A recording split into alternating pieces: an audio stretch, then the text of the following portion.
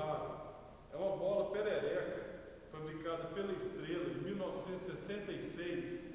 E eu ganhei essa bola quando eu tinha 5 anos. A curiosidade dessa bola é que nunca fizeram uma bola que quica mais do que essa. Ela vai devolver quase 80% do